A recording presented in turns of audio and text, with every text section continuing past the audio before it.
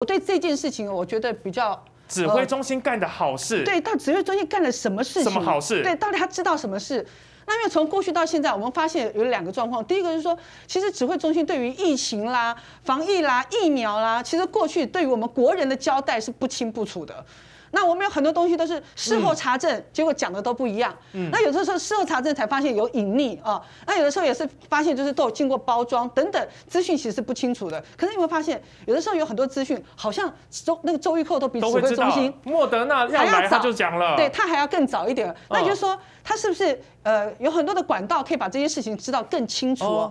那是不是有一些事情是周玉蔻他知道？那也就是说三加十一搞不好他知道。怎么回事哦？我我我认为一定应应该是知道了。那说以他们的关系跟过去他这么提早爆料，又这么精准的爆料很多事情哦。如果现在你弄得我们扣扣姐不舒服，我在想，其实民进党党中央其实有一些人应该也蛮抓的吧？因为万一他这个一不一不小心或者一个愤怒，把很多事讲出来了哦，那会不会对他们有很大的伤害？我倒很好奇哦，到底指挥中心有哪一些事情？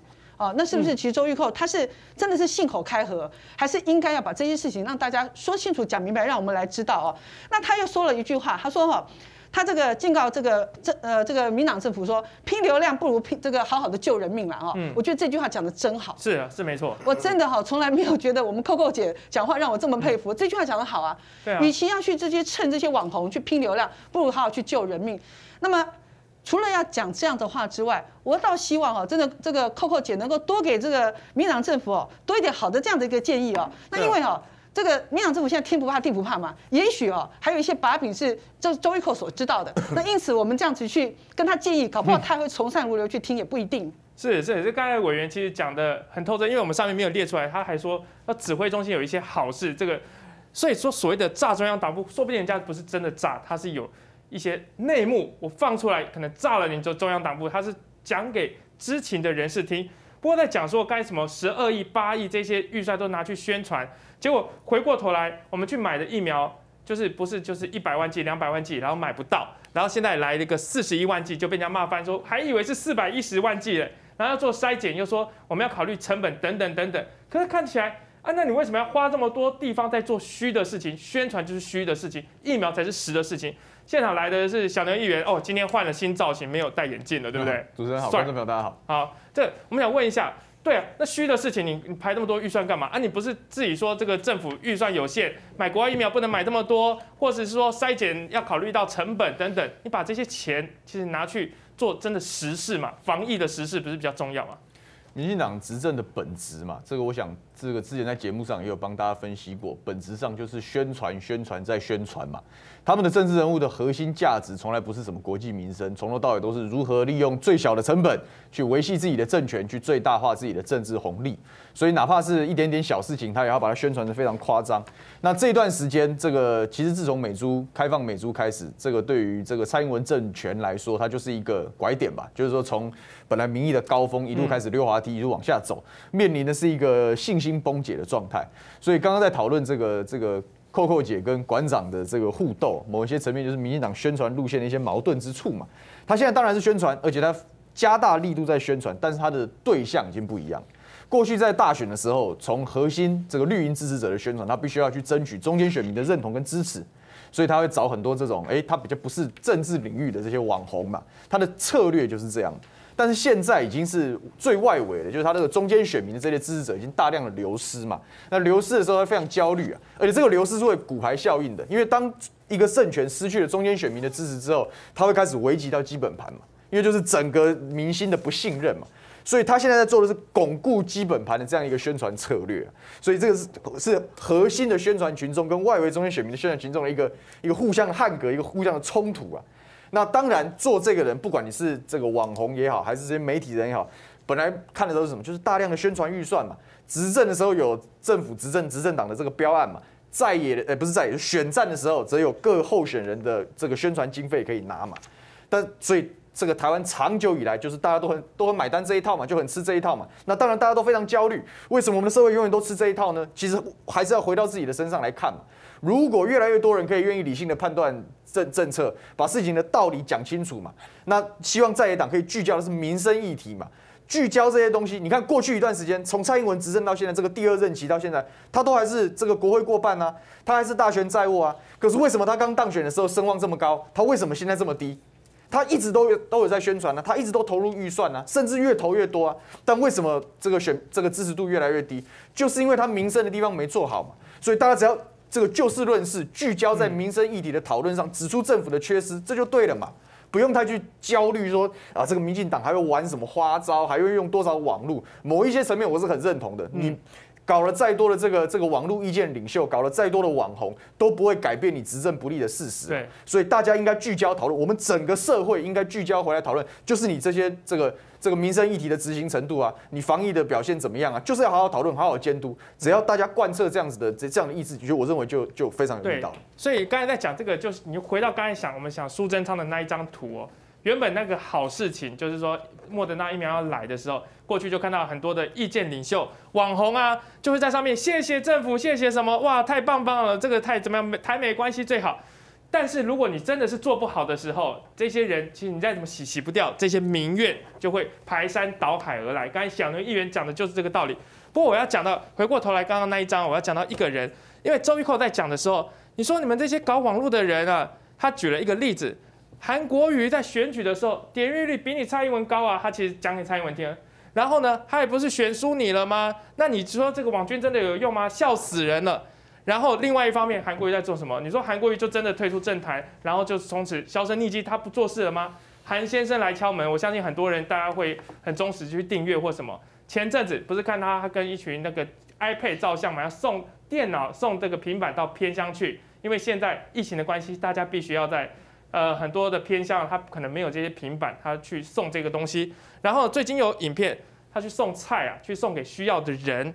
结果呢，他说，就有这些网友说，为善不欲人知才是正确的，就说你韩国瑜，你又在搞什么鬼？你又在想说你要你要红，或是你有什么野心？你要干嘛？你要选了吗？那韩国瑜就说，哎，不是啊，是抛砖引玉啊，做善事大家一起来。同样的例子，你放在蒋永杰身上，你就想通了嘛。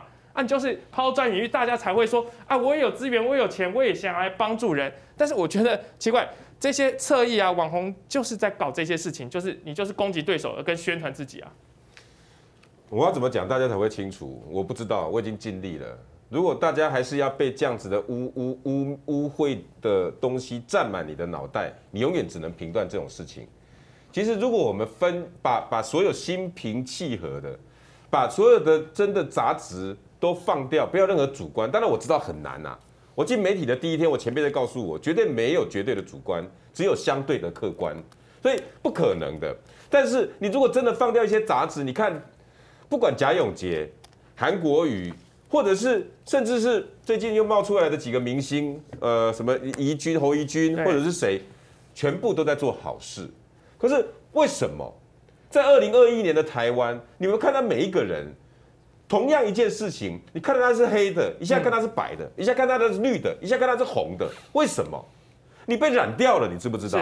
我这边再补充一下，我要讲一个例子，就是刚才有这个讲，萧敬腾就是一个例子，他只是为了工作去去大陆打了疫苗，被说啊，你看你看，这个就是赚大陆的人民币。你不知道人家五月中的时候默默去捐了很多医院的医疗物资，他是不讲而已，啊他马上变坏人了。是啊，只要他被套上一个最近这一阵子这三年来五年来。民进党用一四五零跟网军构筑的一个红色网，然后把它包起来，抓到了，从此以后他就变坏人了。是包完一次，然后丢了变坏人；包完一个韩国瑜变坏人；包完一个萧敬腾变坏人；包完一个徐府变坏人，全部呢把红色包起来就变同一个颜色。然后于是你们以后看到红色的网，他就是坏人。哪怕韩国瑜捐的比贾永杰多，你也会觉得他是坏人。是没有是非了，全部都是因为这些混蛋。全部都这些什么一四五零什么这些东西，把大家的脑袋搞得混浊了。有没有可能变清楚？靠你自己啊！靠我们没用。我讲的最高转播，讲到我都累了，你也不会醒的。嗯。可是有没有可能醒？有啊。就像小刘议员刚刚讲的，这一波来大家都醒了。你自己看那 PTT 呀，所有那个醒的程度让我非常意外。嗯。你最近去看 PTT，以前呢，你在那上头看，所有那种痴迷啊、盲从。只要蔡英文做的一定是对的，对，充斥的所有的版面，没错。只要骂蔡英文就是虚，只要讲政府很棒，那就是推。嗯，现在刚好完全相反。没错，我跟你讲，如果你不是知道那个叫 PTT，你还以为是中天留言板，你还以为是大新闻大八卦。现在 你们在正在留言，我真的有点不信。我看 PTT 或是看现在蔡英文或者苏贞脸书底下，我想说，我想说发生什么事情了？对啊。我是不是是不是按错按键了？你按到徐府大新闻大八卦的留言区了？是，整个铺铺天盖地的骂。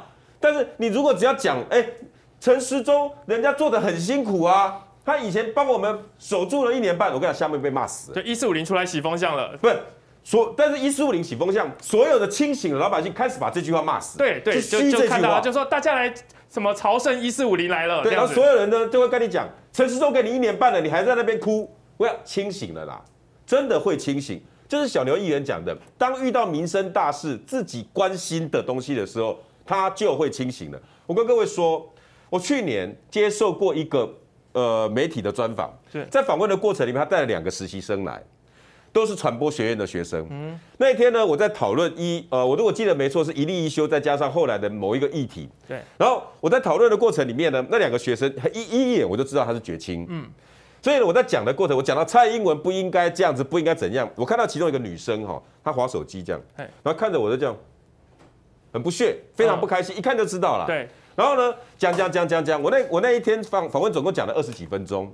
当我讲到十分钟的时候，我突然发现那女生这样子，然后看着我，然后手机停了，拿下来，然后后来是手叉腰。但是因为表情变化的非常的多，嗯，于是我后来访问完之后，我就告诉他说，我就问问那个记者，我说等一下，我先跟这两个小那个学生讲一下嘛。我说这这些女同学，你刚刚表情好丰富哦，嗯，有这个，我突然发现一件事，我说什么事？是原来蔡英文会犯错，他原本不知道吗？还是你讲的是他从来不知道的事情？这句话你不不觉得一身冷汗吗？嗯，有这个，原来蔡英文会犯错，我说哈，哦。你在你们的年轻人的心目中，蔡英文永不犯错，而且也就是蔡英文做的每一件事情都是对的。他说：“本来我这样子以为，所以我刚刚你前面讲我很不屑，我知道你又在那边骂蔡英文了。对，可是你后来讲一例一休，因为我用到我自己的面店，用我的财经模式，然后跟他讲，我说服他了。嗯哼，他手机拿下来说，因为那时候我突然发现你讲的有道理。后来我再去思考我家的一些状况，还有我爸爸最近的一些状况。我发现好像是这样哎，没错。他说原来有这个，我现在相信蔡英文会犯错了，你懂我意思吗？是会变的，是会变的。这些一四五零，这些民进党用的铺天盖地花几百亿去做宣传，不如拿几百亿去买疫苗救几几百万个我们的自己的国人。这些年轻人经过一次又一次让自己的受伤，他们懂的，嗯，他们绝对懂的。我那一天这样子救了一个年轻人。我相信，如果大家还愿意讲，愿意继续说，我觉得台湾会越来越清醒，不会被周玉蔻馆长这些人。为什么他们焦虑了？因为曾经支持义无反顾，蔡英文永远是对的，这个已经讲不通了。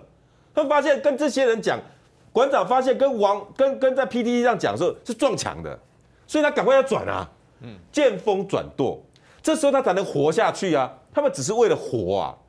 他们为了活呢，开始又要想要汲取这些人可怜的老百姓的能量跟资源。可是现在这些人已经不让他挤了，嗯，所有人 PTT 全部转向，没错，所有人很多都清醒，包括原来牢不可破的民调。我相信国民党你内部应该自己有做一些民调。我说实在的，在五月十五号之前，你们每次做应该心里面都是凉了一半，牢不可破，哪怕是来猪。万演员，我应该讲没错吧？来就是就有影响了。有，但是没有到。大家会觉得说这是个破口，这是应该应该民意要逆转了。但是你问国民党内部民调，但是就没有那么明显，没有到崩盘的地步哦。嗯。但是五月十五号之后，事关你的命了。这些人，所有人嘛，现在都开始反思跟清醒，因为关系着他阿公阿妈。关系着他能不能上课，关系着他的学业，关系着台湾，关系着疫苗，关系着他自己能不能活下去。我跟你讲，整个都变了。现在有这个，呃，我先因为有这个时间快到，我现在有这个讲到民调的部分，我就特别下一题，其实就有这个问题。美丽岛电子报说做出蔡总统满意跟不满意度已经死亡交叉了，但是他做出现在还有一块的铁板在哪里？在所谓的云嘉高平地区，而且他说年纪偏大的长者。就但是我发现最近一件事情，第二塔病毒就在哪里肆虐，在屏东肆虐。昨天苏贞昌从来没有在哪个疫区说啊有这个群聚，有什么时候亲征现场去看，昨天他回到他到到到屏东的访寮，到访山去了。蔡英文昨天下午从来没有为一个单一的疫区开视讯去谈啊，我开始很关心，拜托千万战战兢兢，一定要让确诊持续下降，拜托大家再忍耐。这些事情是不是就是我最后这一块铁板，我不能掉，我再掉，我真的是全面崩盘了。我觉得哈，这个疫这波疫苗哈，像台大工卫的专家陈秀熙陈老师说的，他跟我讲这个叫做政治病毒。他说你有发现哈，以前不管什么伊波拉啦，不管 MERS，不管 SARS，政治人物从来不会中的。这一波全部都是政治人物在动，什么强生呐，就连英国王子啦，全部都这些人中。我说哎，好像有道理哎。他说哦，这支病毒哈有思考的。你哪边有破口，我就哪边去。它的破口是指你这些政治人物太过松散的时候，这个病毒就往哪边钻。各位看哈，为什么这次所有民进党的民调会崩盘？因为起始点在哪里？桃园的诺夫特，嗯，没有守好之后呢，往哪边？第一个第一个扩散的地方是哪里？万华。如果我记得没错，万华其实稍微比较偏绿一点点，对不对？你往那边去的时候，整个万华的人开始清醒了。全部都知道了。这一次你会发现时机点之巧合的，当所有南部从潘孟安、陈其迈在往台北招呼的时候，每天在被骂陈其迈，每日一骂侯友谊，然后潘孟安每日一骂双北。他们好像有区域联防，就有分区，我这个招呼你这个，我这个招呼你那个。责任区域，有发现？有哈，有。这个病毒就告诉你，不要再玩了，我来找你了，让你们知道。好好防我，好好做事，好好把老百姓的身体照顾健康才是王道，你才有办法自己把民调秩序往稳稳下去。再来哈，你看这些屏东，我真的是替这些屏东的乡亲，我觉得你们应该也会清醒了，你们非常清楚他们现在正在做什么。嗯，最近我的脸书跟我的私讯收到非常非常多的南部，但是我真的我我也没办法去念他们秀给大家看，但是你可以感受到他那个情绪已经没有像你想象中的铁板一块了。嗯。他们已经发现跟我碰到那个学生讲的一样，原来苏贞昌也会犯错，原来陈时中也会犯错。因为当你的家人真的在染疫、受伤甚至死亡的时候，你会知道，哎，我我挺了半天，我的家人哎出事了。原来潘孟安也会犯错，是原来陈其迈也会犯错，原来我的命都是在这些人身上。我以前这么信任你，但是我现在变成这个样子了。你会发现整个一一一一一这样疫情的发展下来，当你。开始欧龙谁都想东想西的时候，他就会往那个地方去招呼。你看，从整个从诺夫特，你自己想哦，真的很妙。你在五月十六号之前，我发现国民党应该会觉得每次做什么事情铁板一块，好像很气馁，没有顺风可言。但是你现在只要讲什么东西，以前哪敢骂陈时中啊？你们敢吗？要顺时钟。对，去年那个时候真的是。我跟你讲，你出征陈时中看看，是不被人家打到满头包连记者都不敢问问题啊，就是在指指挥中心的时候。但是他破口在哪里？在桃园。起始点是什么？起始点是因为他想保护郑文灿，他要让郑文灿因为诺夫特跟桃园的群聚不会崩盘，所以派出陈时中跟国家资源整个来进驻桃园，包了下来。我相信外委员看得非常的清楚，爱之是足以害之。反过来，我们退一万步来想，如果当初郑文灿是像柯文哲跟侯友一样，每天两点四十分跟两跟三点三十分坐在流行疫情指挥中心桃园版的上面指挥落定，然后把诺夫特压下来，承认错误，该换的该做的病毒全部压下来，我跟你讲，你相不相信郑文灿今天绝对民调超过百分之三十，而且没有后来的柯文哲，也没有后来的侯友谊。因为你扑灭了嘛，你怎么会有这个？而且你用柯文哲的方式指挥落定，我跟你讲，你就是大阿哥。你在二零二四，你就是靠这波赢稳了。但是民进党爱之是足以害之，整个派下来把它盖住之后呢，他没表现。病毒是公平的。好，我到柯文哲这边，我到侯友谊这边，他们两个无惧无怕，我做给你们看。一做下来之后呢，民众爱死他们了，因为关系了他们的生命，所以老百姓爱死他们了。现在再来一次，对，这是屏东版的诺夫特啊，民进党苏贞昌啊，你看到哈，特别下去，蔡英文的故乡，全部的国家资源下去了，几乎是用以前不会讲的四级，这是四级了吧？只是没有讲出来而已吧？商店不能开，哎，对，交通不能动，哎，这不是四级，这是什么？然后呢，连陈时中普筛不讲的讲出来了，没错，是不是整个资源都下去了？保护谁？潘孟安跟陈其迈。在保护啊，真的是本命区，因为不能倒啊。你们在保护，再有一个诺夫特事件，民进党就不是像最近连台湾民意基金会调查的二十几趴这么简单对了。，台湾民意基金会、美丽岛电子报都告诉你说，满意度已经大于不满意度。我非常同意尤玲龙他们这些老师讲的啦。我跟你讲，非常简单，蔡英文只要开放疫苗，我想保证国民党又又又又完蛋了，他马上又回到三四十趴了。可是他会不会做？嗯哼，自己猜。好，谢谢。有这个，我看到这个聊天室反应很热烈，而且我们现在已经破万的在线人数，大家可以刷一排这个庆祝的表情，为大家的努力啊。记不过得订阅我的频道哦，大家来帮我们冲破。我们现在善良的生意很少了，不要让馆长一个人独霸一百对万。，第二个小时还有这个韩冰哥加入我们。不哥也要订阅。不过我要先请教一下这个委员哦，其实我们讨论进来这个 Delta 病毒，大家真的是很害怕的一件事情。为什么？因为哦，一开始大家就觉得是仿山群群聚啊，就说这是秘鲁阿嬷的状况。但是呢，后来又说，这秘鲁阿嬷只是丢个垃圾，没有跟这个朋友这个聊不到一分钟，甚至是说啊上救护车跟人家聊一下就会出状况吗？再来就是说，访疗医院里面那个老农夫跟这个秘鲁阿嬷这些人，其实他们是不同时间去看病，不同科也同样感染，然后大家就觉得说，那感染源到底厘清了没有？所以今天中时电子报有一个标题说，屏东的 Delta 恐怕会有未爆弹，当地老人人口多，而且他说里面最重要说担心会有黑数，大家在怀疑说，那现在这个 Delta 病毒是不是真的是秘鲁阿嬷传染的，或甚至是其实早就出现了？为什么要这样讲？我要先把这个点出来。中央社，大家如果还记得，可能遗忘这个新闻了。台湾到澳门的男子验出了 Delta 变种病毒，一开始说在越南的感染机会大，就后来人家澳门做出的意调是什么？原来啊，这个台湾的男子他有隐瞒他的意调，原来他说他去过越南，但是他没有说他去越南回来之后，他去了印度，他没有说他去印度回来之后，他五月份回来了台湾呐、他是在印度那时候就已经出现了有一些轻微的症状，五月中的时候回到台湾来，然后才到澳门去的。如果我现在讲的是我不知道这个状况，如果假设他的 Delta 病毒是五月中那时候已经开始传播了，那现在我们是社区里面存在的是黑数哎。现在不是说我们这个秘鲁阿嬷或是屏东老果农，我们要去找他，这简直是一个很严重的一个状况哎。我我不要就这个案子哈去细细的做分析了啊，但我讲一个大方向给大家知道。我们记不记得在去年的时候，那时候疫情刚爆发的时候，那我们每一天那个陈时中在播报台上，我都称那个叫播报台了啊，嗯就是播报这个今天念念一些呃，对，就念稿子嘛，哦，这个呃说今天有这多少确诊呐？那那时候其实大家很在乎一件事情，其实我觉得也是陈时中陈时中刻意误导大家的，他都会告诉大家说这都是境外一路，境外一路哦，这是第一个。那他好像感觉说境外一路就不是就不是这个这个确诊的样子哦，所以大家只要听到境外好像很松懈。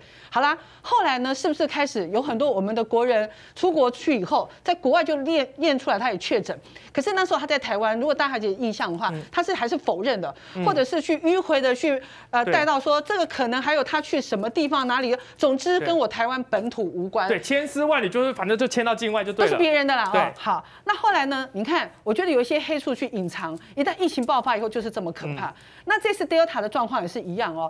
呃，记不记得那时候屏东刚爆发的时候，在讲疫调？我们刚刚讲疫调这事很重要嘛？哦，澳门这个男子呢，中间原来他还有一段疫调，其实因为不够详细、不够坦白，所以呢，其实都会有很大的影响在。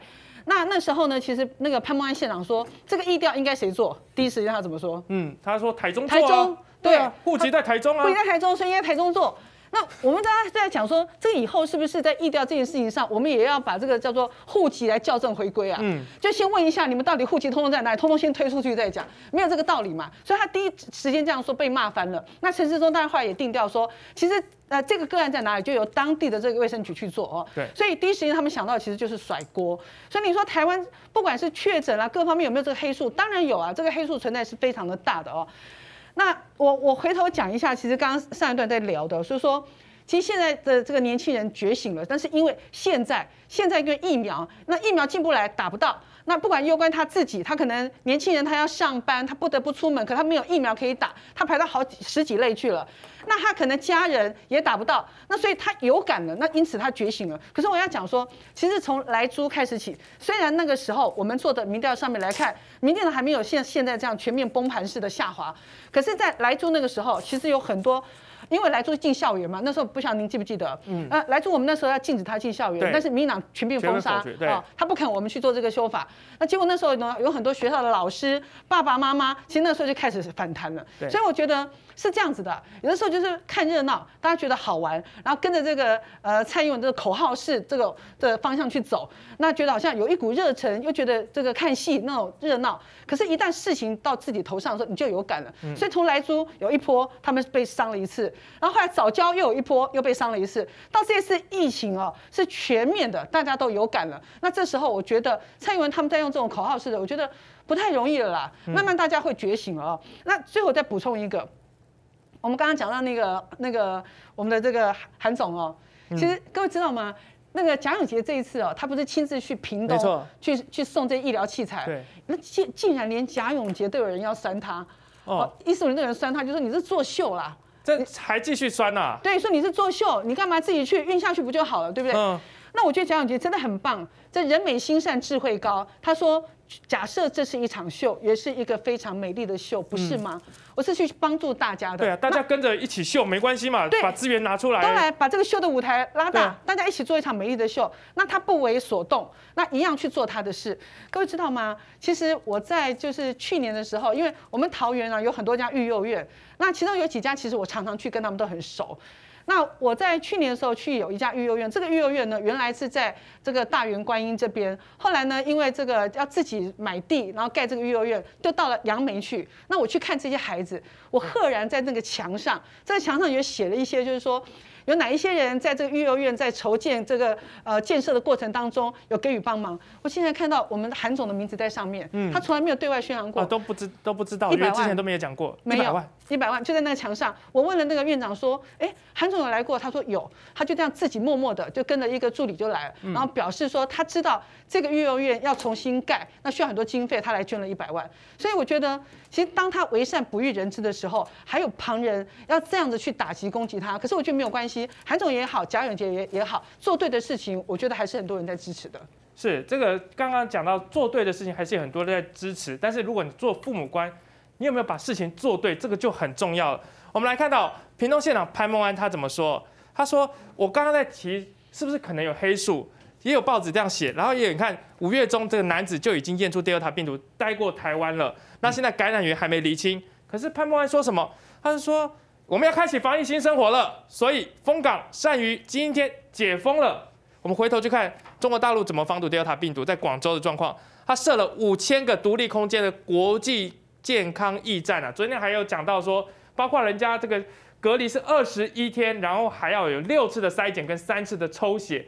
我不知道中国大陆是太小心了，还是他们啊防疫太落后了，还要再用这种笨方法？我们都已经解封了，健康新生活了。可是国际的排名，人家是第八名啊，我们是第四十四名。我们今天线上要邀请到的是朱年峰朱医师，呃，我们想问一下，大家好，对，朱医师，我们大家都很担心 Delta 病毒的状况，可是今天看起来，什么秘鲁阿妈倒垃圾会传染给邻居，或是说这个老农夫在访疗的医院跟人家不同时间、不同科别，可是可能也会传染。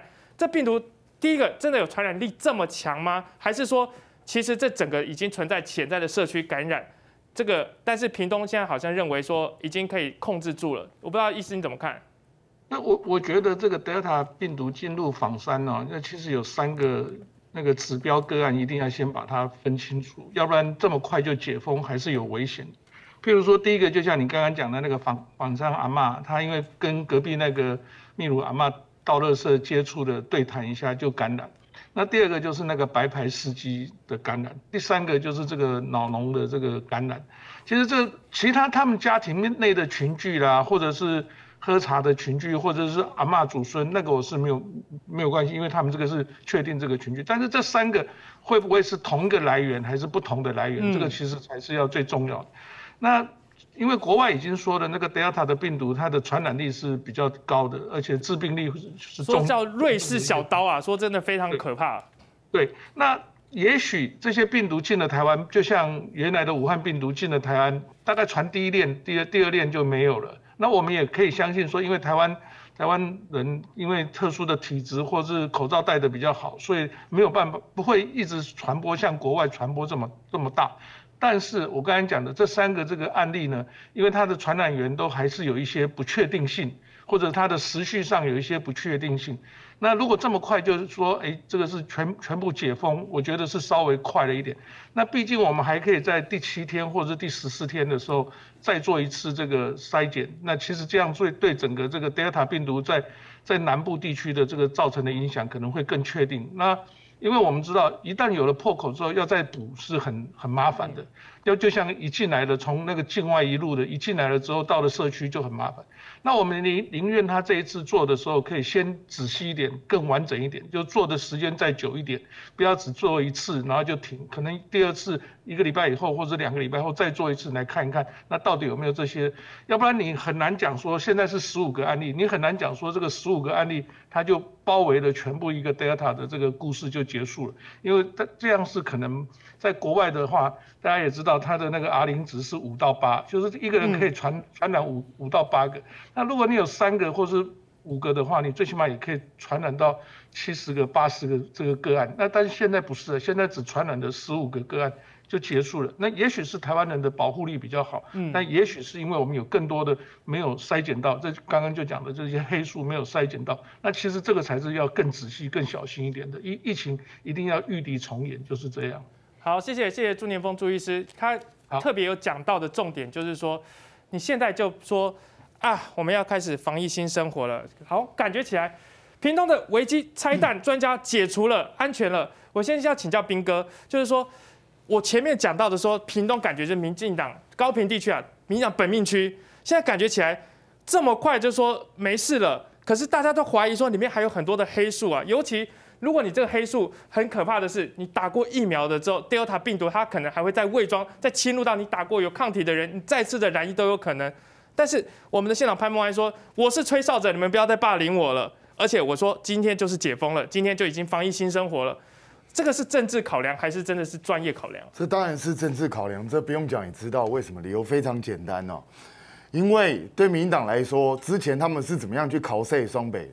所以呢，在这种情况下，如果发生在他们自己执政的区域，然后他们没有很快速的，嗯，就把疫情整个扑灭的话。”那他们就没有办法去面对他们过去自己质疑双北的这样的一个声音，所以呢，他们必须要非常加速的动作。所以你会看到陈其迈突然一夜之间把整栋大楼全部都封了，然后全部筛检。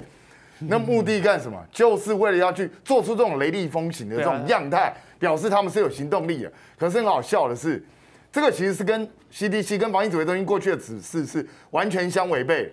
双北过去想要这么做，防疫指挥中心是不允许的。那为什么高雄就可以这样？那同样屏东也是这样啊。老实说，我觉得潘孟安哦，这个人已经最近不知道在胡言乱语什么东西了。一下什么正直的抗体，一下是吹哨者，然后现在又说啊，开启防疫新生活了。风港因为这边都很正直啦，大概是有都很正直的关系吧？不是，哎，潘孟安现场，你忘记你前两天讲什么？我们不考虑封村呢。嗯，那你在接什么封？你没有封村呢？你这不你讲的吗？所以话都讲没封村也是你，讲解封也是你，那到底是有封还是没封？奇怪，你你现在要不要去做一下精神状况检查？我我觉得你每天不知道在胡说八道什么东西，真的真搞不懂你在讲什么。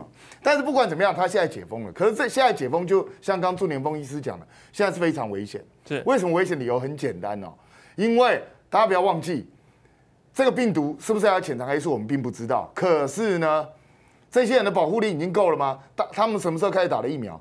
上礼拜才打了疫苗，不是吗？所以前两天才开始打的疫苗，请问一下，现在会有保护力吗？就算疫苗这个疫苗真的对 Delta 病变种病毒有保护力，它现在还不存在保护力啊，因为你至少要等到两个礼拜以后。所以，所以你现在解封会不会太危险？那你现在是不是又在做一个赌注？我发现民进党哦，防疫就一个字，什么东西都用赌的。嗯，像之前在海关的时候，他进来他就是不要塞，我就跟你赌。然后什么东西都是用赌的，疫苗也是跟你用赌的，赌赌台湾自己的疫苗。可是人命赌输了就回不来了呢。反正死又不死他家的，他在乎。他真的他真的确定说真真的自己亲朋好友不会。他们都先打了疫苗嘛，所以你怕什么？现在丢了他疫苗很毒啊。对啊，我跟你讲，这他他们会觉得说他们自己都保护的好好，至于死是死这些韭菜，而且他们更厉害的一招，到时候真的不行了就丢给国民党。就好了，反正国民党就接了，又背的锅，对啊，所以呢，对民进党来讲，这是万事万灵啊，所以他们现在又在赌，又在赌什么？不会再发生了。可是说真的，我对这一个他们目前为止的疫调结果，第一个我是非常存疑的。我实在很难以想象，两个人没有接触到彼此戴着口罩讲话，如果就会传染的话，我我到现在不明白，那我们现在还戴口罩的意义到底是什么？啊，大家有没有想过，如果这么两个人都戴口罩，然后保持一段距离讲话就会传染，嗯那大家把口罩全部拿下现场就脱掉了嘛，对啊因为没有也没有用啊。完全没意义啊！干嘛浪费口罩钱？对不对？难道我们要图利口罩厂商吗？不是吧？对不对？所以你你确定这个疫调做的是对的吗？他们是不是有一些忘记了，或是隐瞒了什么东西？是不是要再去确认一下？因为如果说真的是这样的话，那是那是面对 Delta 变种病毒的重大发现哦。嗯，你这个要写相关的报论文报告，要去送到那个国际医学期刊哦，要去告诉给国际听哦，因为这是一个很严重的发现。那再来呢，我们全世界都知道 Delta 变种病毒是传染力目前最强的，可是呢，这个秘鲁祖孙呢，他们坐飞机坐了十几个小时，同飞机的人一个都没中。哎，那奇怪啦。那请问一下，这到底发生什么？那倒个垃圾的，却旁边人会中了。对啊，所以他在飞机上，大家关在一起十几个小时不会中，然后跟他突然讲个两句话，还彼此都戴口罩，然后完全没接触到就会中。那这个病毒是会不会太任性了一点？这病毒是今天我看哪一个长得帅，还是看哪一个长得长得漂亮，我才会晕攻击他？机啦，可能 Delta 对病毒会晕机。我不晓得啊嗯，所以我昨天我在我自己的直播里头，我都建议相关当局是不是要把那台飞机赶快停留下来研究一下，看那个飞机上是不是到底有什么特殊的环境，让这个 Delta 变种病毒在上面无法发作，它没有办法活动。这个是一个很重要的东西。如果我们能够研究出来，台湾搞不好会得诺贝尔奖啊！因为你设定了一种环境，让 Delta 变种病毒在上面不会发生。然后再来一个更奇怪的是什么？你知道？就是很怪的，从病毒祖孙或者这个计程车司机他们扩散出去的范围，越前头的 CT 值越高。CT 值越高，代表它的病毒数、病毒量越活跃越低，哎，对不对？呃，你是你是说哦对，就是它的 CT 值哦，值越低哦越越低，病毒浓度越高。对所以这是刚好跟我们过去的经验完全相反。对，过去都是怎样？我我刚开始的时候，开始准备要发病的时候，病毒量开始多了嘛。病毒量开始多了之后，我就扩散给别人嘛。对，扩散给给别人之后，然后所以我自己的病毒量开始下降嘛。对对不对？没错所以通常最原始的那一个，它的 CT 值是高的。嗯。然后呢，越新被感染，那个 C D 值越低。低正常是这样嘛，对不对？对，数字越小了，就数字越小。虽然我不是专家，但是过去这一年多来，CDC 训练我们的就是这个。由于台湾特别在乎 CD 值，对不对？每一次都告诉你，因为 CD 值很高，所以表示它已经没有没有，传染力了，没事了可。以可以算是没有了，这样。是，可是台湾这个 Delta 变种病毒的行为刚好相反，越后面被传到的 CD 值越高，然后越前面那个 CD 值反而越低。这是怎么回事啊？这发生什么事我不知道还，是这个是颠倒过来了？他的这他的追的顺序是不是错了？所以我我不懂这到底发生什么事情。因为照正常来看的话，那个那个 CT 值越低的那个，也就是像那个秘鲁祖孙啊，或是计程车司机，他们才是最后被传染那个。嗯，理论上来讲，照我们过去的经验可是实际上不是啊。那请问一下，到底发生什么事情？所以如果按照我们过去的经验，是不是他们被别人传染的可能性还比较大？因为这样才比较能够合理解释为什么那一整台飞机跟他坐了一个十几个小时，结果没有半个人中。嗯，这样解释才比较合理吧？对不对？那或许他的邻居根本就不是被他传染的，倒过来他还要怪邻居喽？也也不是，也不是啊，也也是他们各自有社另外区里面的传染源。社区里面就不知道的黑数嘛。对，不晓得，我不知道，因为这个还要经过疫调，还要去做更进一步的检查才会知道。我只是告诉大家说，Delta 变种病毒在台湾出现了非常反常的现象。然后再来呢，李平颖医师，我们的权威告诉我们说什么？我们台湾的这个 Delta 变种病毒特别奇怪，第一个它只攻击上呼吸道，然后它不容易攻进肺部，所以它不容易造成重症。那你知道全世界对 Delta 变种病毒的看法是什么？你知道？它最喜欢攻击人的肺部，然后因为它攻击的很强烈，所以第一个你裁剪不容易裁剪到，因为它不在上呼吸道。那第二个呢？你只要一裁剪到，通常都是重症，因为病毒已经多到满出来，所以它三四天之内就很严重，立刻变成重症。那根据李平颖医师的想法，Delta 变种病毒在台湾的行为刚好相反哦，它只攻击上呼吸道，然后不太容易形成重症哦。那我我请教一下，假设一个病毒来到台湾之后，它的行为改变了，这应该代表什么？这应该叫新的变种病毒吧？嗯，这应该就不叫 Delta 变种病毒吧？它是不是应该叫台湾变种病毒？所以，大家有没有去想过这件事情？假设真的是按照李冰医师所描述的，他行为已经做出这么剧烈的改变，那它是一种新的变种病毒啊，它就不是 Delta 变种病毒啊。你基因序列去到底怎么对？你对出来没有？嗯，它到底是不是真的？所以我觉得这一切都有很多谜团。我不是说一定真的出现这样的一个奇怪的变种病毒，而是我觉得我们整个议调的过程给大家太多疑点。所以是不是应该要更仔细、更深入的去了解到底发生了一个什么状况？因为他整个行为在台湾的活动都看起来跟世界各国完全不一样，截然不同。所以这是一个非常非常非常奇怪的事情。那在发生这么奇怪的事情的时候，我们的民进党政府还决定直接让他们直接解封了。直接让他们恢复正常生活，那大家有没有想过，只要他一赌错，会出现多可怕的一个后果？所以我真的觉得这是人命，这不是你可以拿来当做政治利益，不是你可以拿来开玩笑的东西。我真的希望相关的单位，你们真的要好好三思。